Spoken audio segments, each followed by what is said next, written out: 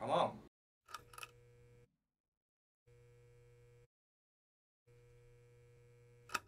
Indiana has 28 microbreweries in operation, with several more planned in the next few years.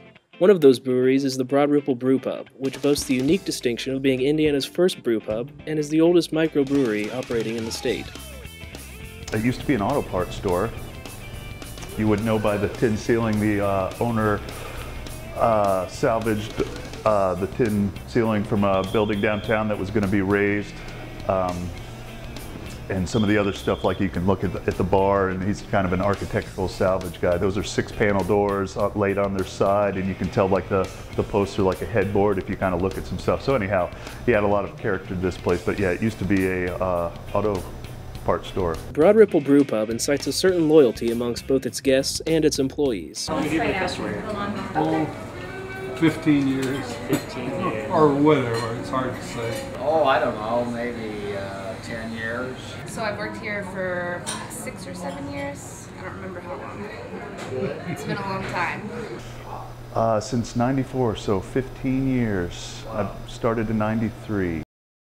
So, what makes the beer at Broad Ripple Brew Pub unique in comparison to the beer from other microbreweries in the Indy area?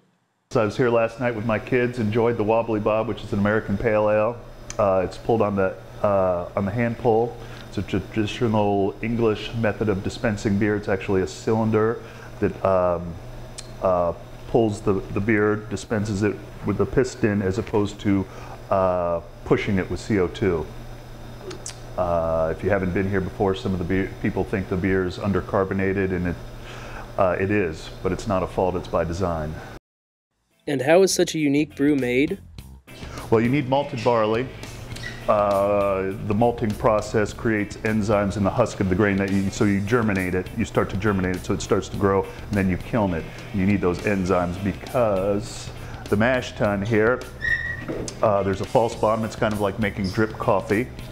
Um, you mix the grain with hot water, roughly 150 degrees, and that's when saccharification takes place, and those are the enzymes, the alpha and beta amylase, um, and they convert the starch in the grain to sugar when it's cracked and they're uh, mixed together. It's called a mash. So anyhow, so then you, uh, it's in the false bottom, so you suck off the bottom uh, and rinse it.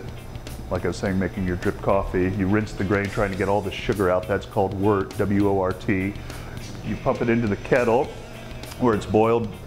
Uh, after we boil for an hour, uh, you run it through a heat exchanger. So that takes the wort, which is you know probably 208 degrees at that point because you've stopped boiling it uh, down to 70 degrees, um, where you pump it into a clean fermenter that has yeast already in it. And if you can pick this up, you can hear uh, this is our extra special bitter, which we brewed yesterday, and it is fermenting rather vigorously. So, what do the people who drink here the most drink when they're here?